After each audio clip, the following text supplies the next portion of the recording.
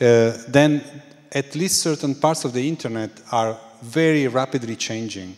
Think about the debate on internet governance and the incredible acceleration the, of the recent months. And again, the timing, and the pace of academia is not uh, the same. So it presents a specific challenge. You want to address something that is changing as you try to study it. On the other hand, if you manage to keep the pace, you also have an opportunity potentially to shape the course of events, perhaps. And also, another specific challenge of the internet is that in many cases, including internet governance, what you need is interdisciplinary research, which is something that is often uh, uploaded and uh, recommended, but uh, it's difficult to do proper interdisciplinary research. It's difficult.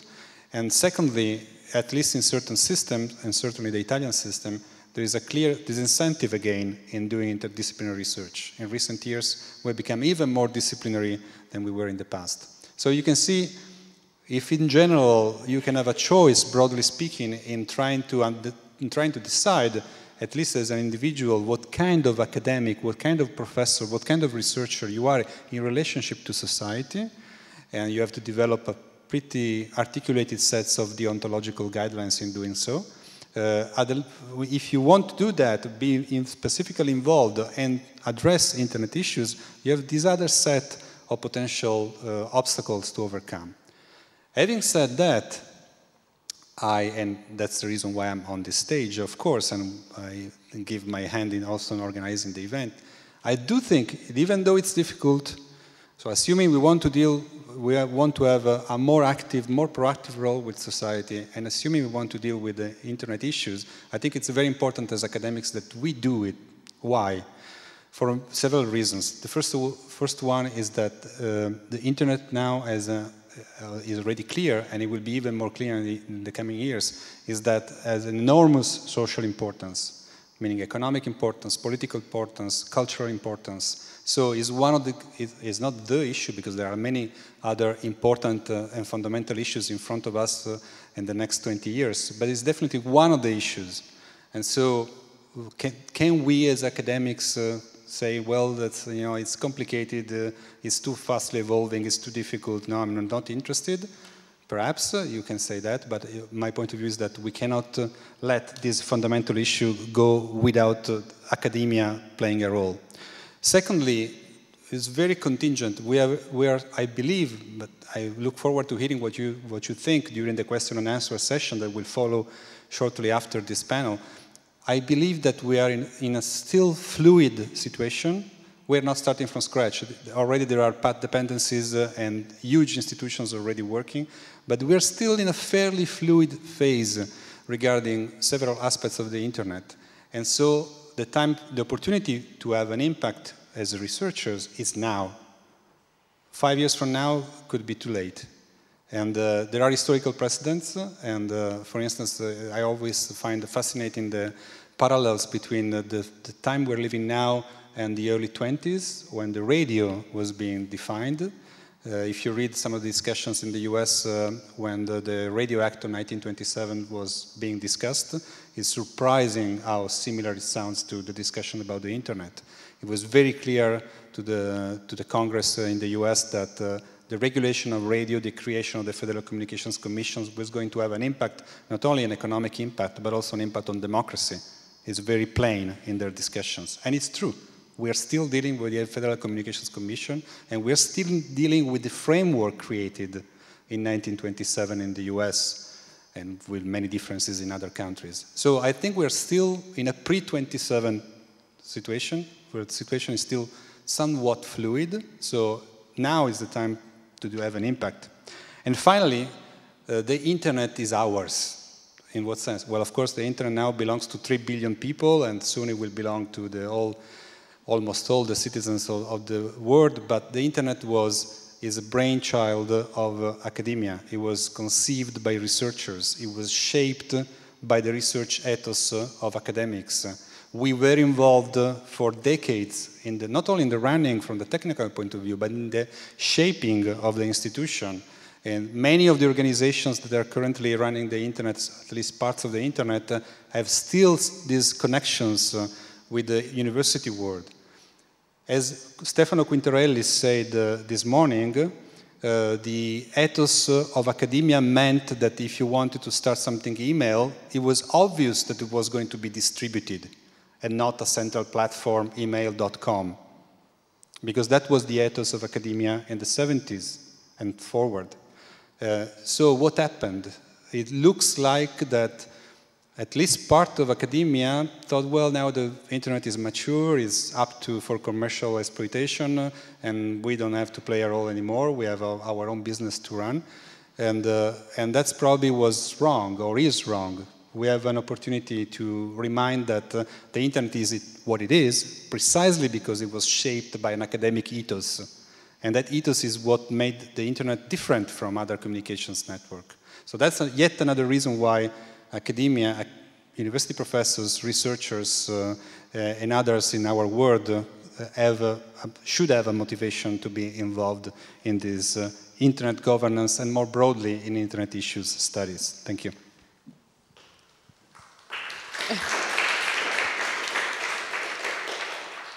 I would like to thank both uh, our speakers because in a very um, surprising way, we did discuss a little bit the inputs that we were going to give during the panel, but not the specific contents. And I found that there was like a, a, an only line, a, a, unique line of thought that was joining together our three um, inputs, like and especially um, theirs. Um, I don't know how to proceed now because I, I would really like to uh, leave the floor for the question and answer. I just maybe conclude saying what to me are the keywords that emerge from um, the inputs provided by our speakers. So the first one is um, definite responsibility, because as academics we act with a high responsibility of taking part of, of the internet governance and in deploying the internet governance. The second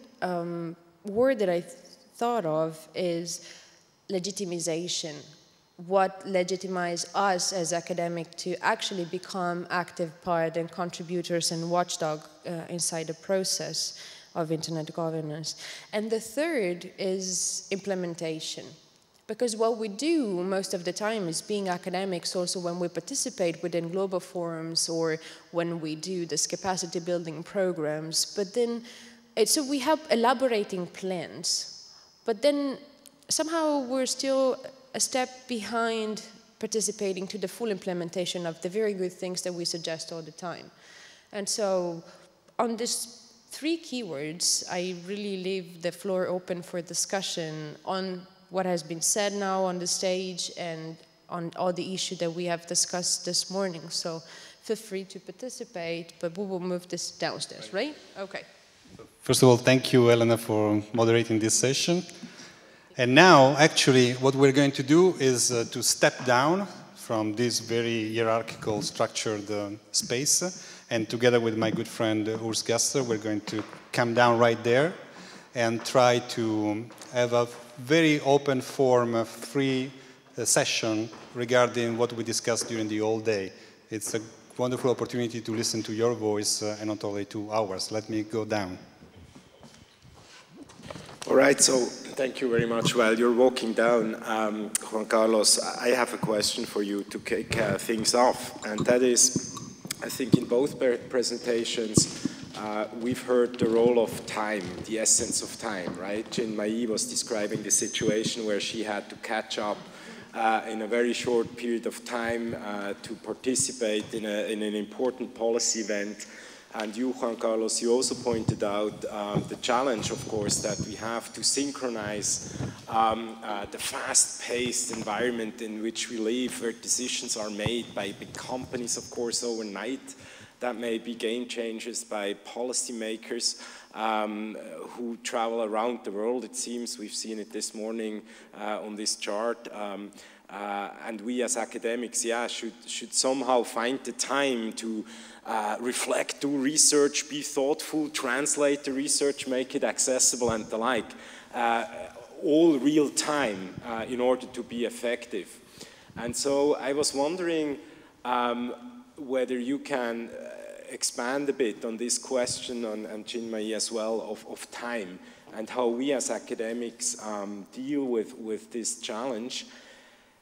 And as to what extent, that's a thing you, you didn't mention, the internet, who's not only been invented by academics, and not only academics shaping the internet, but of course the internet changing how we as academic, academics work and may participate. So in other words, does the internet help us with the timing issue or is it just accelerating the whole thing and we're totally lost? What are your thoughts? Yeah.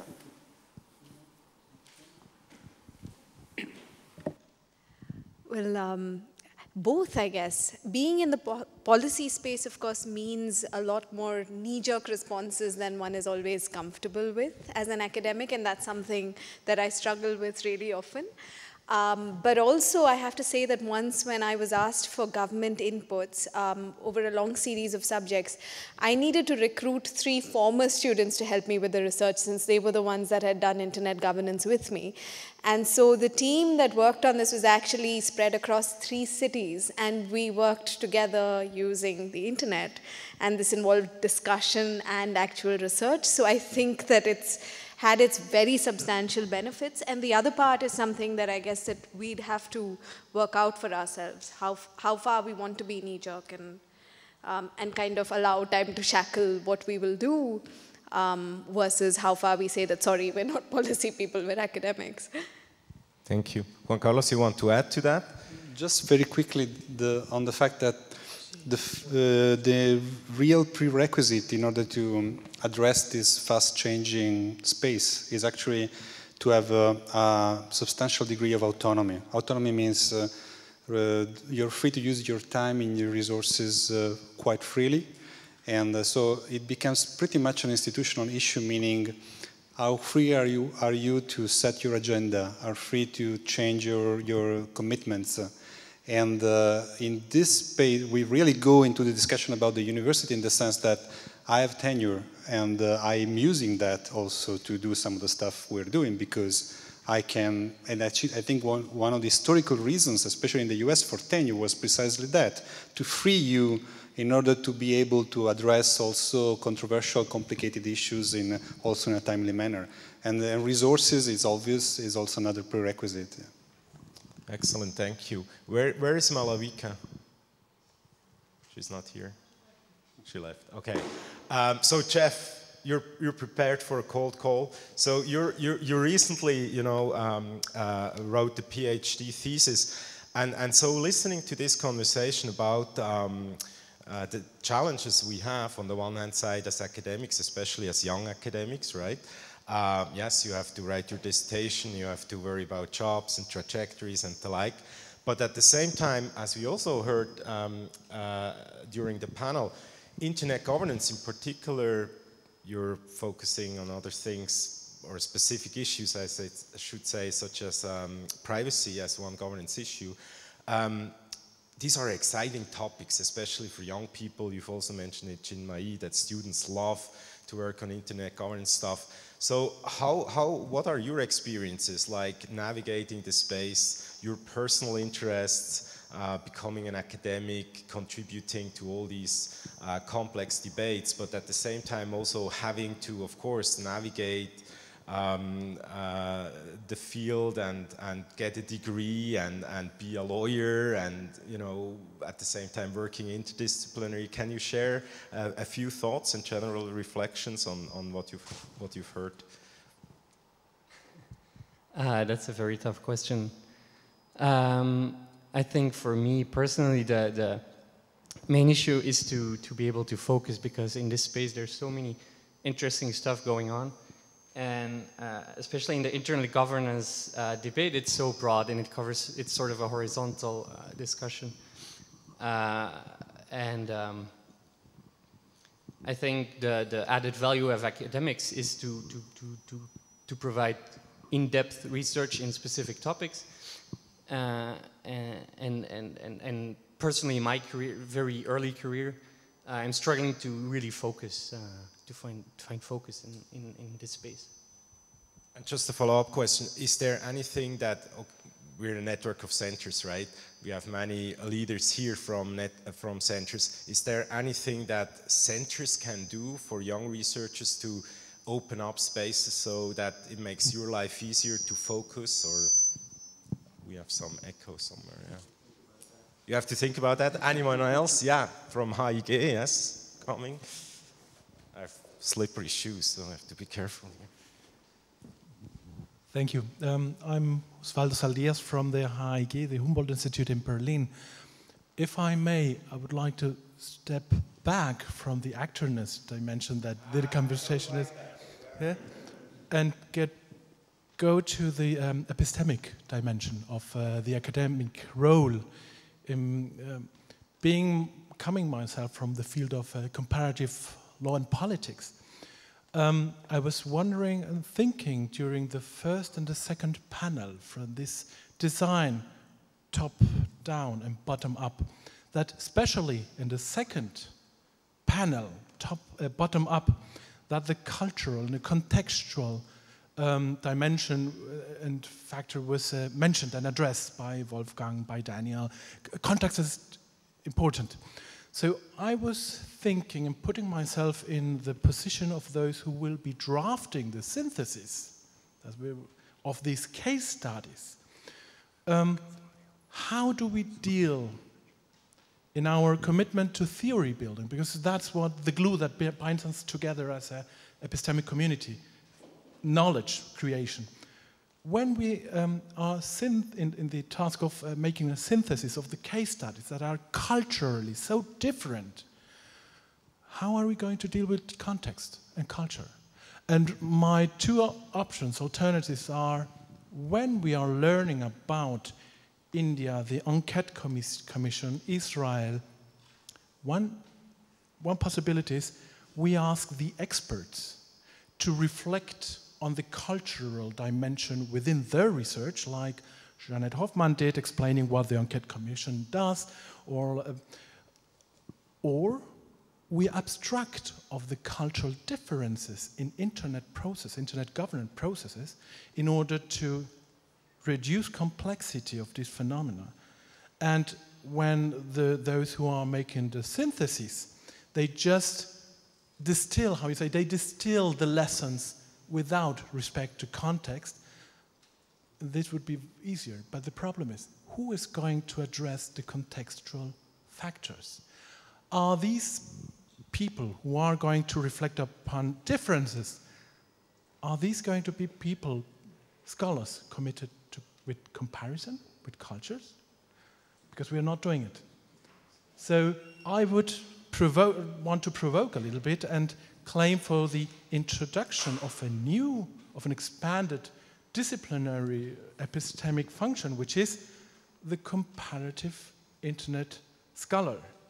Um, this is provocative. How are we going to deal with the differences? Um, this is a question to those who are going to draft the synthesis. I have no clue.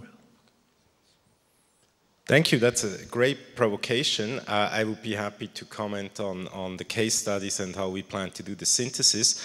But I think you're asking a broader question, and I would like to stay in the broader theme for, for the time being, um, because we're still kind of um, uh, reflecting on, on the last panel uh, before we then can totally open up and talk about uh, anything that comes to mind. Um, but I want to actually bring in Rob uh, uh, and have your reflections as the research director of the Berkman Center, someone who has done extensive comparative work um, uh, and thinking a lot about these methodological issues. How do we do that? Yeah, not in the context of the case studies here necessarily, but in general, is there uh, this comparatist internet legal studies internet studies scholar emerging, or are we just at the beginning of that? What are your thoughts? Uh, thank you for the out, so I can say yes, we're at the beginning of it. it would be the starting point. I, I, think in general, comparative work is very, very difficult. Um, I I started out my career as an anthropologist where every detail was essential and you couldn't tell the story unless you told the whole story. Um, I then switched to the other side of the pendulum and spent time as an economist where we tried to reduce the world into that one variable that was really we wanted to understand this one thing. And I think we're trying to span somewhere between those two areas. And in almost every respect, when we're studying these very, very complex um, situations across different countries, we have many, many more variables than we have observations. I think that weds us, I think, in the short term to really focus on case studies and understanding what we know about a given context at a given time. And then, of course, the, the great challenge there is trying to excerpt from there, to extrapolate from that into, into wider, more comparative things. And I think that's the direction that we're going, and uh, it's great to see that. I think we are at the beginning, as you, as you say. Thank you. And just as a footnote, one way to think about it is what you extract from the case studies uh, can be seen as working hypotheses or can be seen as uh, initial observations that, that, can be improved or validated over time. So I think we also have to move away from there is this one publication that forever will tell the truth about X or Y. No, this is a learning process. Uh, and, and we also have to create, I think, new ways to present our, our research, to put it back into context and, and also use technology to update and, and add and expand uh, on our findings as we know better, maybe in a month or a year from now, and hopefully we know better. Yeah. Over to you, Juan Carlos. Actually, there was, do you want to, to intervene? Yes, I, am um, Paul Fehlinger from the Internet and Jurisdiction Project, and um, I wanted to, to, to, add something or stress one dimension that I did not hear sufficiently um, being stressed during the panel discussions on the role of academia in the Internet governance ecosystem, which is the role of academia in evidence-based policy processes. This is something that we are trying to do in the Internet and Jurisdiction process, that we integrate through the Internet and Jurisdiction Observatory experts from around the world basically to inform the participants of the ongoing policy process about emerging trends, about high-level patterns. And I think this role of academia is not only limited to the mapping on a meta level, which is very relevant, and the transfer of knowledge, um, education being a neutral venue for deliberation. All of these things are incredibly valuable and, and important. But I think um, there's an active role for academia to play in, in, in the creation of distributed governance systems, which is providing the basis for having an evidence-based um, um, deliberation and policy process, and therefore enable better policies and, and uh, innovation in this um, space. Thank you. And the Internet and Jurisdiction Project clearly um, creates a template and thinks also strategically about how to collect that data that then can um, serve as an evidence base uh, for policymaking. So this is a great case studies in, in in that respect, if you're not familiar with the project, I encourage you uh, to check it out. Bill, you had a response to, to that evidence-based policymaking or a separate thread. Anyone who'd like to follow up on the evidence-based policymaking? Stefan, you would like to comment on this particular one? I thought so. I read your mind, you know. I see you typing and I know there is something on your mind. No, I think it's. Uh, I think a, a, critical element is going to be exactly to uh, um, um, to, uh, from an academic point of view, to to start finding out what works under what conditions and for what purposes, uh, which could be anyway what you call evidence-based uh, uh, policy making. and I think um, what a, kind, so we had different, meaning. Of course academia has many methodologies, we have comparative methodologies, we have different kinds of methodologies, but one kind of methodology that we have to start applying more and more in order to get to the evidence is really uh, so-called action research or experimental kind of research is that you actually, anyway, go, go in, do stuff, learn and do and learn and do. And, and that kind of uh, more action research kind of focus uh, is really what, what is needed in this space, which till date has been less prominent because till date most of the academics that are working on internet governance uh, are coming from the policy and legal uh, uh, uh perspective quite often. Uh, um, or I mean, because it's governance. Uh, and so that automatically means that the methodologies are quite often anyway limited to, to, the, to the discipline uh, that the, uh, uh, um, uh, the legal scholarship brings to bear, which, by the way, can be varied, meaning having been a fellow in social legal studies, know that there are a variety of methodologies there as well. But I think experimental research is, uh, is highly needed to bring the evidence that, uh, that uh, we have here. If I can make a, a quick um, comment, of course, uh, as a researcher, I cannot be have anything but good words for evidence-based uh, and data collection and so on, because that's what we do uh, for, for, our profession does.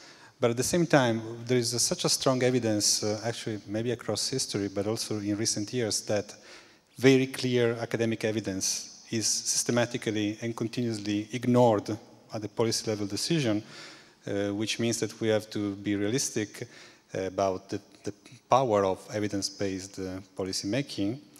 And I think the, the antidote to that is to a connection to the level of rights. So as I mentioned this morning, we are discussing internet governance, and at the same time, there is a, broader and broader movement talking about digital rights, which is not based on evidence, it's not scientifically proven, it's normative and argumentative, but it's a, a powerful potential corrective of the simply power dynamics uh, that are happening at the political level, ignoring the evidence base whenever they think it's convenient to be ignored.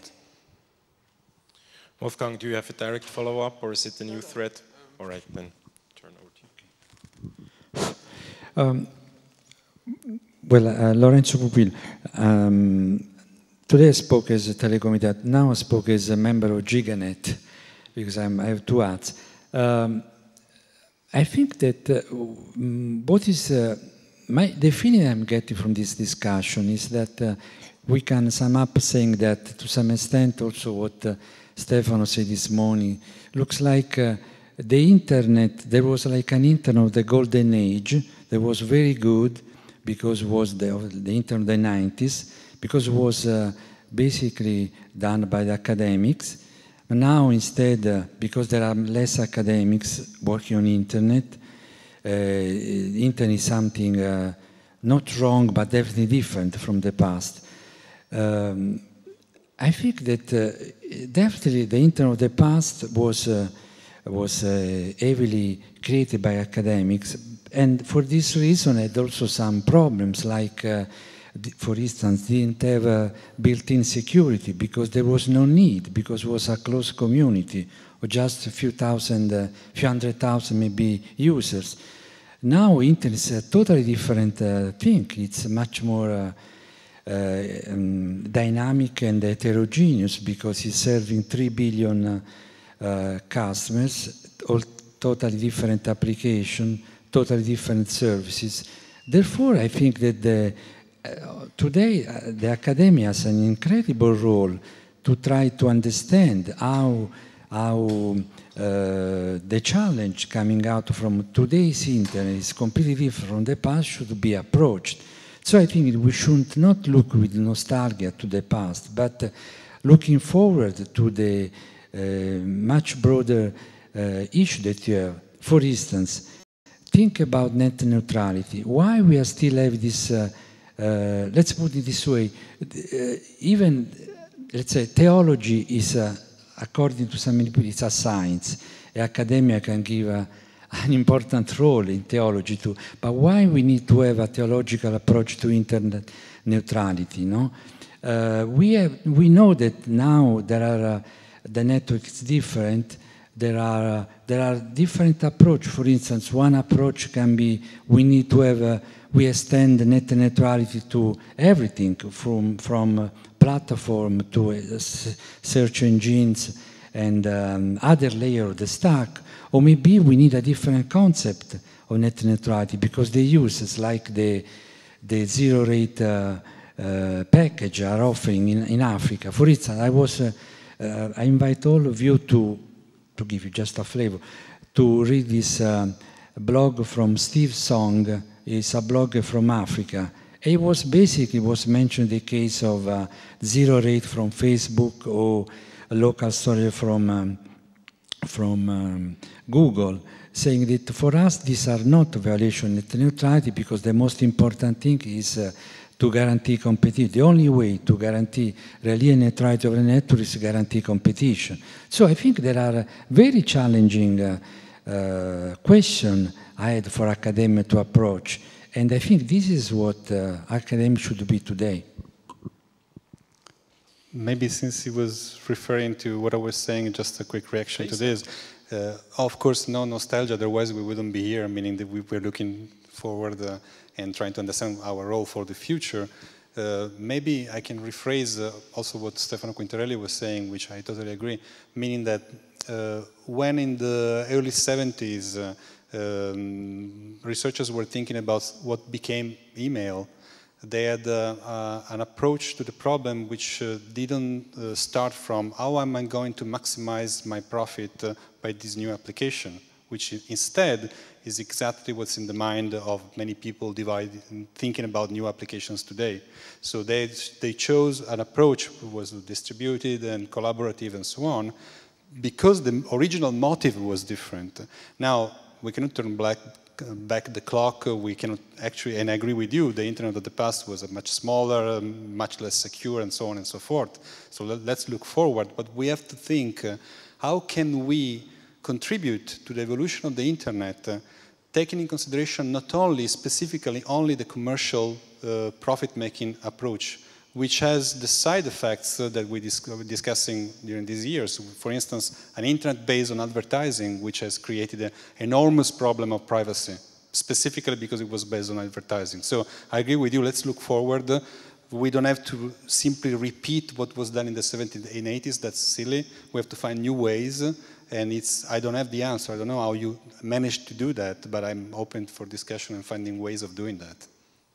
Thank you. So we have Tarek, then Wolfgang, then we move in that direction. Bill, since you've been on stage a lot, I start with people who haven't spoken yet, but I, we will get uh, to you, of course.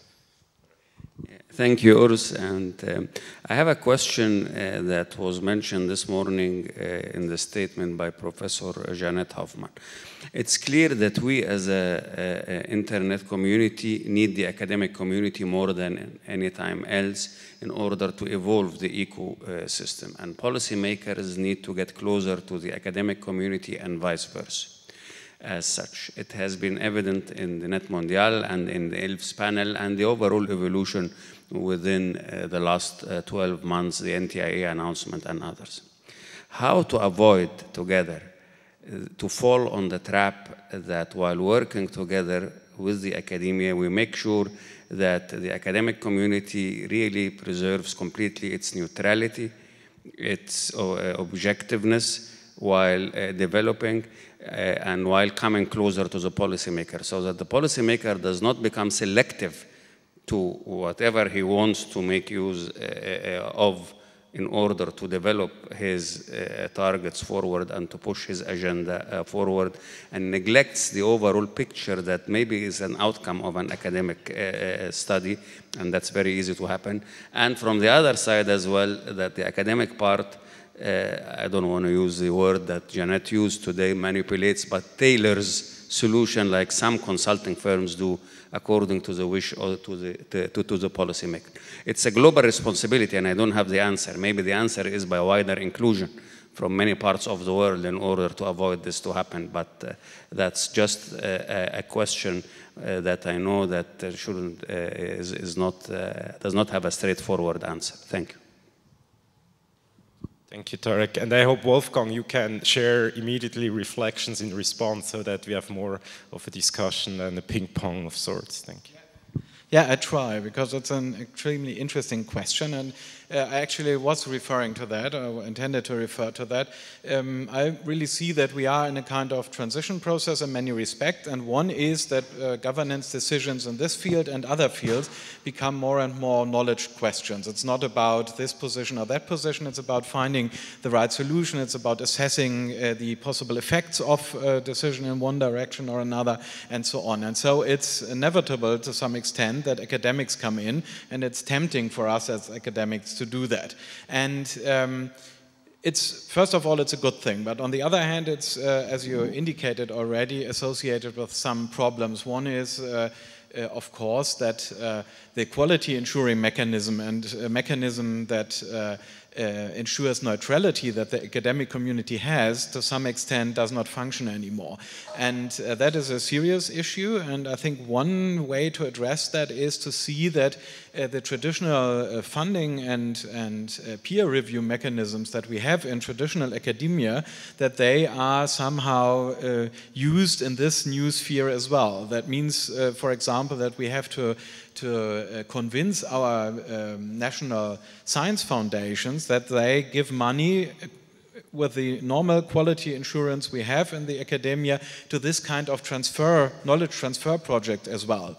Uh, otherwise, there is the risk that the academics do not uh, uh, go in there because uh, uh, of the traditional funding and reputation system of uh, academics, but because they like the influence and say, okay, when uh, it's going in a way I personally find interesting, then I give my expertise and uh, not in another way, or I frame my expertise in a way that supports my, my thinking. So one idea might be to not completely let it be separated from traditional academic sphere, but try to find find mechanisms to integrate that.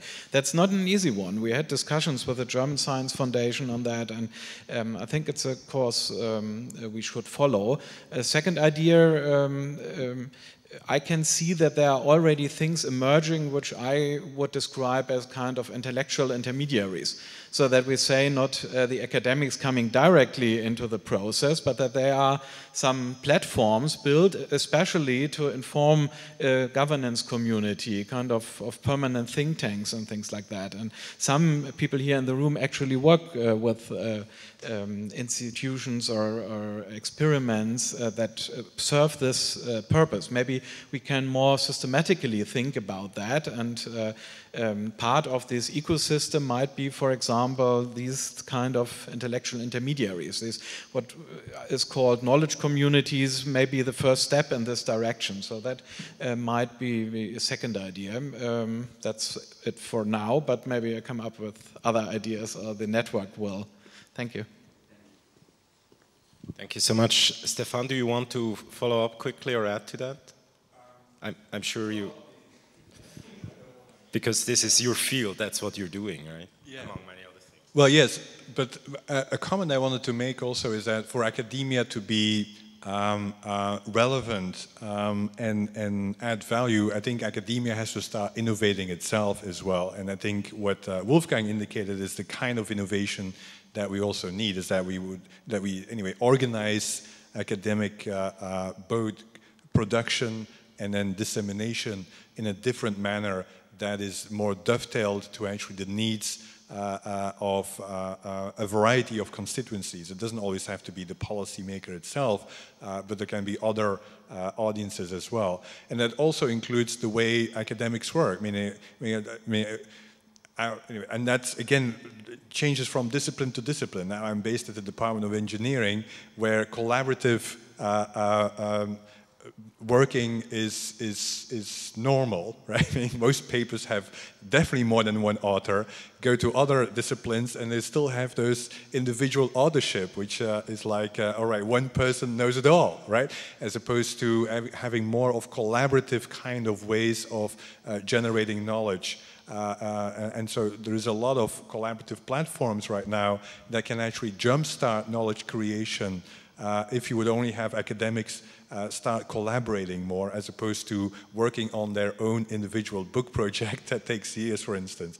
And so, so that's the kind of uh, uh, innovation uh, that is needed and uh, would actually be great to also um, innovate, especially working on internet governance, to actually use the internet more for academic purposes as well. Thank you, Stefan. Pablo, you're still ready for right? Yes, we'll get, Pablo has been very patient here. Thank you, I'm here near the power. That's why I'm here. Uh, in the case of Brazil with the Marco Civil, uh, we kind of have uh, interesting ad hoc situations where academy actually started a debate on net neutrality and other things. So when the bill passes, well, uh, we were still influencing all the project and we are in the policy network. And then I'd like to share here something that happened, was a project on mass surveillance, not internet governance. but it's about policy windows.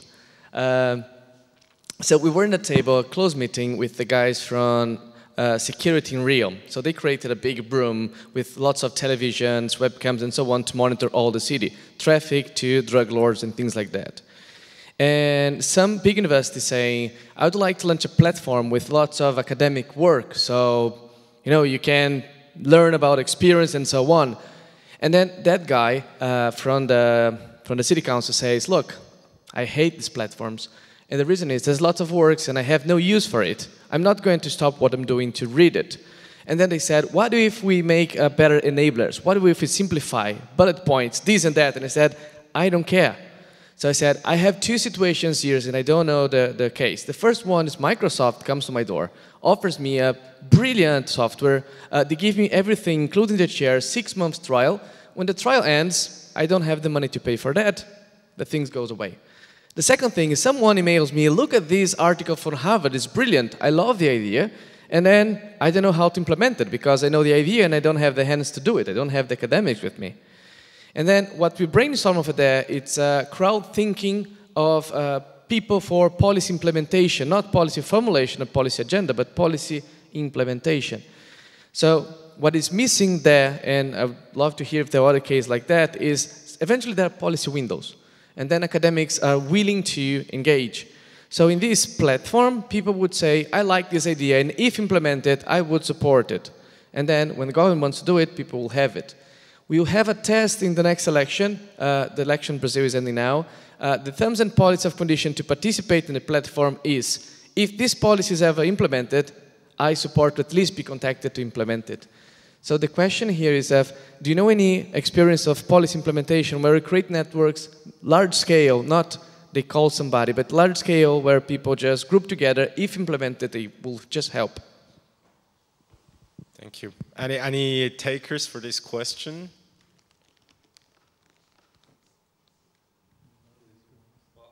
Federico? I, I just buy it, so it's, it's great because uh, uh, we, we have a, a, an experience as Nexa Center uh, of working in the domain of uh, open data in particular, which is of course one of uh, many uh, different streams which are connected somehow to internet governance. And yes, typically we are involved at the level of defining the policy, then the more you go toward implementation, the less uh, there are really institutional mechanisms to involve the, uh, the academia. Yes, um, in certain cases uh, you still have a coordination table which is supervising a, a, a project, but uh, uh, it would be great to think about uh, a mechanism to have some of these projects, which in the case of open data, by the way, are typically in any case, side project, they are not really mission critical, still they could have a, a huge uh, potential in terms of uh, involvement of uh, citizens and in innovation within the institution. Uh, and so uh, I, I, would love to, to, discuss more about this uh, approach.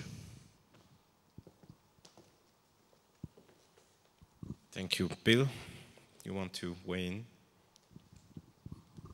Sure. Um, the, uh, the question of uh, what role academia or academics could play is, for me, a challenging one to get my head around because some of us have been very deeply involved in this stuff for a long time. Yeah, so for example, um, I in ICANN chair the non-commercial users constituency, which has 360 members, and about three dozen of them are academics, some of them are in this room, uh, who have been involved in policymaking for a decade or more, writing proposals that have actually gone into policy processes.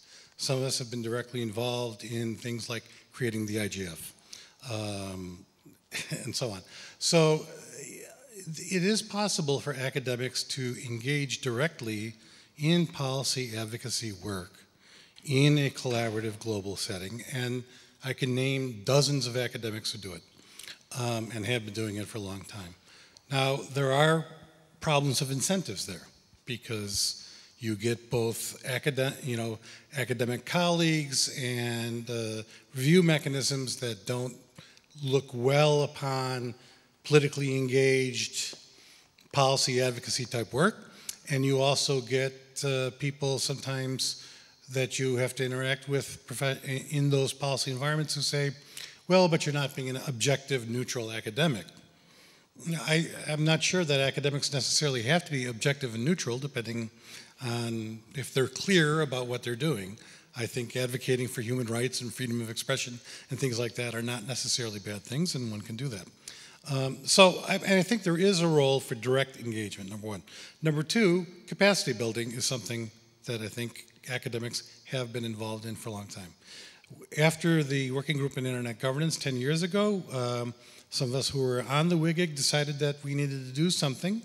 We created the GIGANET, which has a global internet governance academic network, which has grown now to hundreds of members around the world.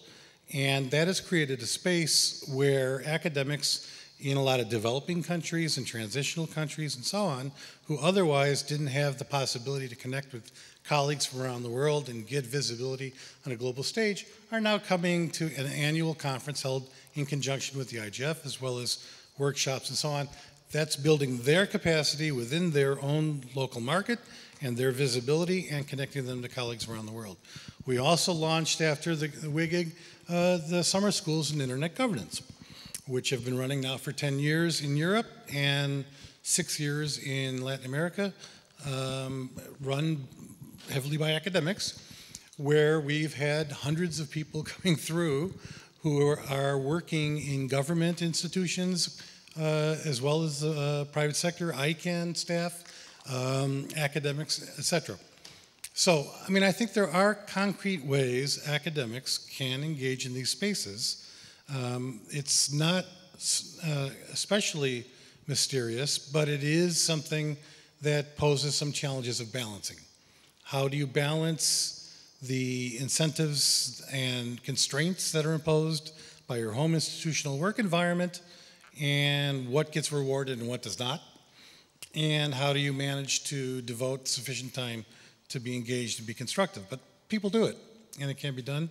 And I think the Network of Centers is a new initiative that can foster that further um, and by bringing in new people who are not involved in the existing spaces um, and uh, developing a sort of a space that cultivates new talent and encourages people to get engaged and think about policy relevant questions as well as questions of a purely analytical or theoretical nature.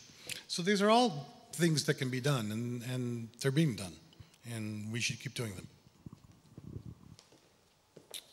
Thank you for sharing your rich experience, but also for the encouragement. Um, uh, just on the network of centers, I think what we try to do is obviously complementary and building up on the great work that you and many others have been leading, um, and add an institutional component to it because I do think um, in terms of scalability and impact and research capacity, uh, there is an argument to be made that we can move if we work even closer together also at the institutional level that we can take it to the next level yeah. And that's kind of the attempt uh, that I think is absolutely consistent with with the mode of engagements and the spirit as you described it. I think Andrea um, is lined up for a question and then Maite. Thank you let me stand up. So my name is Andrea Beccalli. I work for ICANN. I have a, just some thought. Isn't one of the role of the academia to not only create knowledge but also distribute knowledge at a massive level, right? And I think that I mean that's what basically Bill was saying at the end. That's a big challenge that academia has in the field of internet governance. Just to make a stupid example, during the lunch break, I took a walk around the patio here of the university and I pretend to feel myself younger than what I am actually, and I was looking at the students down there, and everybody was holding a mobile phone and using the internet. And then I was wondering why these students they do not come massively to these events. Why they don't see that um, here is the future that they're actually participating but not really shaping. And I think that's a big gap that uh, academia has to. Um, I think it's really it's in it's it's a, it's a question of its own DNA, kind of, to create um, netizens or informed citizens that can uh, participate and shape the future of the development of the internet ecosystem. So far, it looks like this ecosystem is really an aquarium because it's really limited. You know, you cannot have an aquarium as the size of the ocean, but uh, the ecosystem of the internet is a little aquarium, but the user is, a, is an ocean. So I think, I don't know if this analogy works, but the, our challenge, and um, I would like to hear what do you think about, is actually to bring this knowledge down to the masses in a way, because uh, it's fundamental for, this, for the future development of the internet. I mean, I don't know how many students are in this room right now, but I think really I mean, this is a, if you want, a perfect segue, I'm sure, to Maite, who's uh, actually running a platform um, called Public Sphere that, that is working on a similar problem. How do you re-engage young people in, in uh, Europe, European politics in particular? But it, maybe you wanted to comment. Just a uh, quick comment, because in this institution at the Polytechnic of Turin, I started three years ago a course called uh, Digital Revolution, uh, which is, is aimed at first year students. And actually, there are some of my former students here. And uh, it gives them the basic tools to understand what the internet is all about. Uh, so both technically, very simple, very fundamental questions, internet governance, internet history, and then how to use proactively the internet. And uh, without those elements, uh, young people poll after poll shows that they have no idea what we're talking about. They have not the faintest idea what ICANN is. They, if you ask them what is a domain name, they have a very vague idea. They use them all the time, but they don't even know how they're named. So I agree with you. It's definitely one of the things that academia should be doing, teaching institutions, also other levels, K-12 or whatever, to be teaching the fundamentals of this amazing platform because without the fundamentals, there's no way they will be showing up at a conference like this. Forget about the English, even if it was in Italian, the difference would have been very small. They, they, they need to understand what we're talking about. Otherwise, for them, it's complete, total, esoteric topic. Thank you. Maite. Thank you. Um, yeah, I'd actually like to follow up on, on what you said, but also what you said earlier about um, the role of the university, obviously, in knowledge creation. Um, how you know we have so much research still to do, uh, you know, including around subjects such as you know how is democracy, how is the internet changing democracy, but one thing that I would like to bring in is also the issue of participation. Andrea, you touched on it. Um, how is the internet changing participation? And I think um, now going back to what you asked earlier, what can centers do, uh, particularly for young researchers? Um, uh, you know, I've been you know very involved with this network of centers um, effort for the last two years. At the same time, um, in parallel, I was very involved with um, getting politically interested, generally interested um, uh, young people, but who are not engaged in political processes or parties um, engaged in politics. One thing that we found, for instance, when when trying to get these young people to whom, when I started doing this work, I counted myself as well um, uh, one thing that we learned is actually that when we, you know, actually when you approach them on the street, one word that you have to avoid is politics. And I was speaking the, the wrong language. I qu quite quickly realized that this couldn't be my job. And I think this kind of goes back to the chain of knowledge, knowledge um, creation, but also of promoting really participation. You in your um, uh, digital revolution course actually have the opportunity to connect with these young academics um, and trigger a sort of interest in these issues, but also to create an awareness for the fact that this interest actually relates to, to concrete institutions, to concrete issues that we are talking about in situations like this one. And now linking back to what can centers do, what can the network of centers do, I think one of the great um, one of the great potentials of this network, and um, I think we all know that there's still room for improvement and we're working on it, is that um, also for young researchers, not only, but also for young researchers, um, gatherings like this um, that are facilitated by the network actually allow for network building and for an exchange of, of knowledge. And um, they surface very particular problems that also, you know, popped up during several occasions during today's discussions. You know, people coming from different disciplinary backgrounds, but also from different stakeholder groups, from different cultures, understanding very different things under the same terms, under the same meanings. And this requires talking about time, time commitment, of course, a lot of, you know, recurring possibilities to participate in these kinds of discussions. But I do believe that a lot can be won also for the network of centers if we manage to um, make these events themselves more participatory, also going into these events, preparing these events, and uh, also going out of these events in terms of feedback, of making these results uh, available, but also for inviting comments, for instance. And uh, yes, we are already making efforts, uh, but this is also a learning process. But I think that this is something um, that we as a network uh, are already working on, but where there's still a lot of room for improvement and, and, and, uh, and a particular aspect where I think we can link with young researchers in particular, fostering participation and being open to this and new formats. Thank you, Maite. Stefan again, all the way up. No, no, no.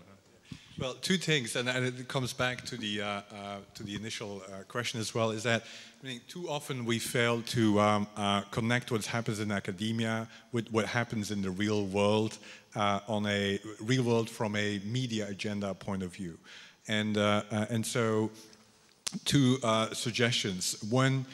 I established in the GovLab what I call um, a um, it's not happening every day, but it's on a regular basis, uh, editorial board meeting in which every staff member, staff member has to join, and we basically have to say, what does our, how does our work relate with, the, with what is being discussed in the news today? And then have this kind of translation discussion so that you at least can talk about the relevance of the work we do in the context of real world happenings. And if you go to the newspaper today, I could come out with five uh, uh, news articles that we could have dissected here on stage and said the work we do is directly relevant to what is happening out there. So that is not happening enough uh, uh, within academia. Second element is I'm an advisor to something called The Conversation. If you don't know, you may want to check it out, theconversation.org. It's now available in Australia, uh, the UK, and is launching, which I'm not allowed to say, um, I think it's today in the US. Um, and so what they do is basically uh, only connect uh, uh, academics with uh, uh, what's happening in, uh, um, in, in, anyway in the on the media agenda, and so they tap into academics, have them write um, contributions that everyone can read, and they actually have developed a tool to help and edit academics, uh, the, the, work of academics, and, and write in, in a meaningful style. Um, and that there's not, mean, if you go and look at what the conversation is, uh, uh, is really covering, there's hardly anything on internet governance. And so, I mean, one way to think about it is to connect the network of centers here with actually the conversation and have like an internet governance channel where academics uh, contribute to the debate about what's happening at the internet level, and there is really enough issues that could be covered there. If I may quickly react, you're absolutely right in the sense that academics, uh, particularly in some countries more than other countries, have uh, been talking to each other often in a very highly specialized language uh, and not thinking it, it was their responsibility also to address the general public. Uh, I do think it's our responsibility. Actually, there is an article in the newspaper today about internet governance that I wrote uh, today in, in, the La Stampa, the national newspaper.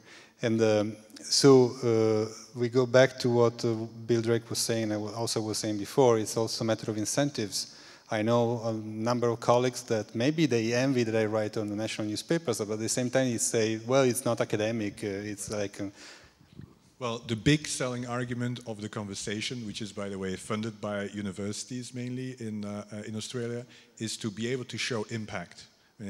Every university has to start showing impact of the work they do And so by being out there and, and, and be quoted uh, is one way, one metric to show the relevance of, uh, and so there is a big incentive right now to actually start becoming more public. And let me just mention that uh, uh, Andrea and others were talking about participation, but participation, um, the underlying, uh, uh, the basis for participation is that you have a sense of what it means to be a citizen.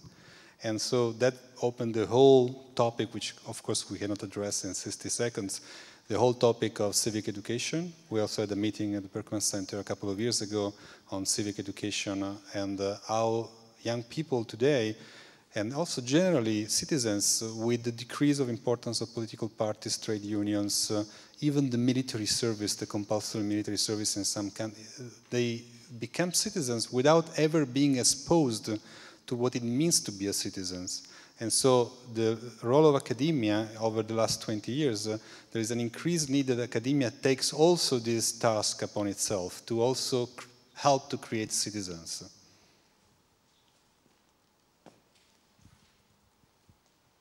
Well, one last comment by Elena.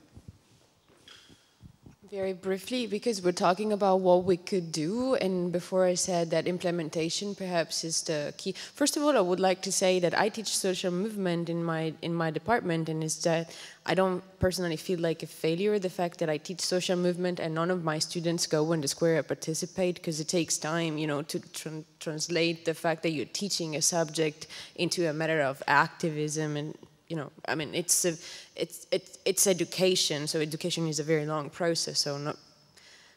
So that's a response to the comment before.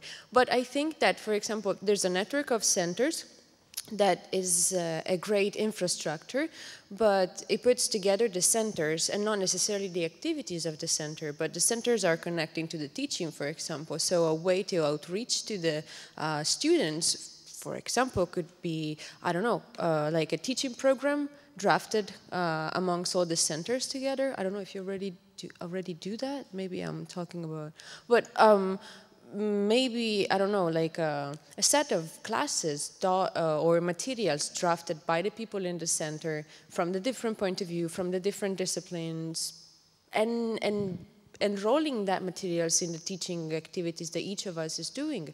So coordinating ourselves from an activity point of view can be part of an implementation. Absolutely, this is very much on our mind, and we are also um, started to experiment with a number of pilots of how to do network teaching in uh, online and offline environments. And I think Chinmayi actually was uh, was very involved in, in one of the early pilots. So this is uh, something we're very excited about and hope to make progress over the next few years. I think we're well. I think it's 4:33. So thank you. This was uh, an impromptu but fun session. I hope you enjoyed it too. And uh, now the plan is uh, to go again downstairs for a break, but to be back exactly at 5 sharp for the final keynote speech by Bruce Sterling. Thank you.